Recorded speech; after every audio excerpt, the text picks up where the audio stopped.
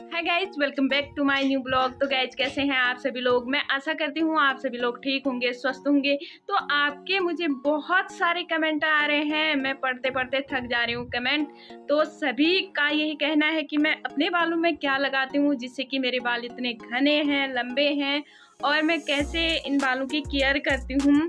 तो आज मैं आपके लिए लेकर के आई हूँ एक पावरफुल टोनर जिससे आप अपने बालों की ग्रोथ को भी बढ़ाएँगे और जो आपके बाल झड़ रहे हैं, आपके नए बाल आना स्टार्ट हो जाएँगे। इस टोनर को लगा के वो भी नॉर्मल जो घर की चीज़ें होती हैं, जिसे हम खाने पीने में इस्तेमाल करते हैं, उससे मैं एक पावरफुल टोनर बनाने वाली हूँ, जो मैं अपने बालों में अप्लाई करती हूँ। तो किस तरीके से उसे बनाना है? तो आज की वीडियो में इन बालों को लंबा, घना, काला रखने के लिए मुझे बहुत सारी मेहनत करनी पड़ती है। घर पर, घर का काम भी करना पड़ता है। जैसे कि आप मेरे ब्लॉग में देखते हैं, मेरे ब्लॉग्स भी देखे, बहुत सारे मैंने ब्लॉग्स भी शेयर किए हुए हैं, उनको भी देखे कि इतने लंबे बालों के साथ मैं घर का काम कैसे करती हूँ और कैसे रेमेडी भी यूज़ करती हूँ।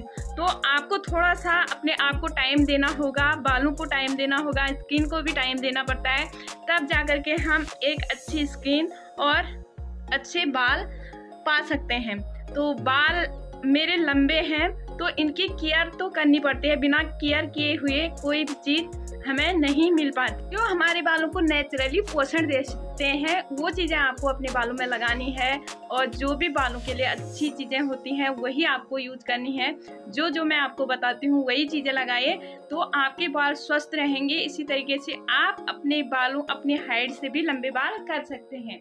तो देख सकते हैं मेरे बालों की लेंथ तो कहाँ से कहाँ पहुँचती है। और मुझे संभालना मुश्किल हो जाता है और मैं काटना नहीं चाहती। यही मेरी पहचान है, इसलिए मैं इनको काटना नहीं चाहती। मुझे अपने बाल बहुत अच्छे लगते हैं और थोड़ी सी मेहनत लगती है बालों को कंगी करने में या वॉश करने में, टाइम लगता है।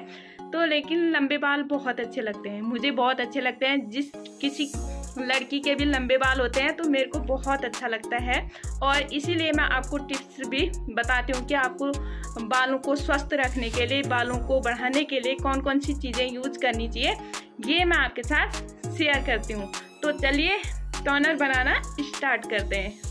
तो गाइस देख सकते हैं, यहाँ पर मैंने ले रखे हैं चावल, यानी कि राइस तो आपको राइस ले लेने हैं अपने बालों के अकॉर्डिंग जितने लंबे आपकी बालों की लेंथ है तो उस हिसाब से आपको लेना है, उतनी क्वांटिटी आपको ले लेनी है। तो मेरे बाल ज़्यादा लंबे हैं तो मैंने ज़्यादा ले रखे हैं। इनको अच्छे से वॉश कर देना है। सबसे पहले इस तरीके से वॉश करना है। तो चावल में पाया जाता है कार्बोहाइड्रेट जो फैट को बढ़ाने में मदद करता है। और इसमें जो आपके बाल डैमेज हो गए हैं, बालों को रिपेयर करने में मदद करता है और बालों को हेल्दी बनाता है। जिस तरीके से चावल खाने से इंसान की हेल्थ मोटापा बढ़ता जाता है, उसी तरीके से ये बालों में काम करता है। तो आपको इसे चूल्हे पे रख देना है साफ़ पानी में, फिर उसमें आपको दो टी वैक्स डाल देना है, यानी कि ग्रीन टी के दो वैक्स डाल देने हैं और कुछ ले लेने हैं आपको आंवला जो मैंने घर पर सुखाए थे। तो जब आंवले का सीज़न होता है, मैं सुखा करके रख देती हूँ तो इसमें आपको डाल देना है। आंवले से हमारे बाल मज़बूत होते हैं, घने होते हैं, काले होते हैं। आंवला बहुत ही बेस्ट है बालों के लिए और ग्रीन टी से हमारे बाल हेल्दी होते हैं और बालों का झड़ना कम हो जाता है, बाल मुलायम होते हैं और डेंड्रफ की समस्या कम हो जाती है। तो ये आंवला अच्छे से पक गया है। अभी चावल पकने में टाइम है तो हल्के से इसको हम पका लेंगे। हल्की आँच में इसको पकाना है और ज़्यादा गैस को नहीं बढ़ाना है क्योंकि उबाल सारा बाहर निकल जाएगा इसलिए तो इसको अब हम निकाल देंगे। मैंने निकाल दिए हैं जो टी बैग्स हैं तो इनको निकाल लिया है। एक आपको शीशे की कांच की गिलास ले लेनी है और उसमें आपको इसको छान लेना है। अच्छे से आपको इसका पानी छान लेना है जो भी ये टोनर है, इसे छान लेना है। ये टोनर यहाँ पर मैंने तैयार कर लिया है। तो अब हम इसको ठंडा होने देंगे। जब ये थोड़ा सा गुनगुना रह जाता है, तब हम इसको अपने बालों में अप्लाई करेंगे। तो इससे आपके बाल चिपचिपे भी नहीं होते हैं, आपको कोई चिपचिपाहट भी नहीं होती है और आप इसे लगा करके नॉर्मली बाहर भी जा सकते हैं। अब हमको चौथी चीज़ इसमें ऐड करनी है रोजमेरी रोज़मेरी ऑयल इसमें डाल देना है आपको। आपको ये कहीं से भी ऑनलाइन भी परचेज कर लेना है। तो रोज़ मैरी के कुछ बूंदें, जिस हिसाब से आपने टोनर बनाया है, जिस हिसाब से आपके लंबे बाल हैं, उस हिसाब से आपको ले लेना है। तो चार पाँच बूंद मैंने इसमें रोज़मेरी के मिक्स कर दिए हैं। तो इसको हम लगा सकते हैं। आप एक दिन भर लगा करके भी इसको रख सकते हो। इससे कोई प्रॉब्लम नहीं होती है। आप बाहर भी जा सकते हो। इसको बना करके। अब मैं इसे एक स्प्रे बोतल में डालूँगी। इस तरीके से स्प्रे बोतल में डाल लेना है आपको भी। और उसके बाद आपको अपने सूखे बालों में इसे अप्लाई करना है। तो इस तरीके से आपको इसे अप्लाई करना है। इसको गुनगुना ही आप अपने बालों में लगाइए।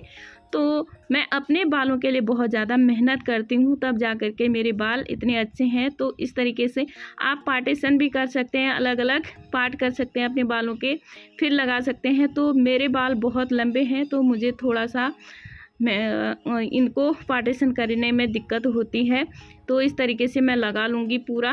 अगर आपके पास स्प्रे बोतल नहीं है तो आप नॉर्मल कॉटन से भी इसे लगा सकते हैं। अपने बालों के पूरे रूट्स पे, पूरे जड़ पे लगा सकते हैं। तो गाइज़ आपको ये वीडियो ज़रूर पसंद आया होगा। वीडियो पसंद आए तो लाइक कीजिए शेयर कीजिए एंड मेरे चैनल को सब्सक्राइब कीजिए और लोगों के साथ भी शेयर करिए इसी तरीके के हेयर टिप्स देखने के लिए।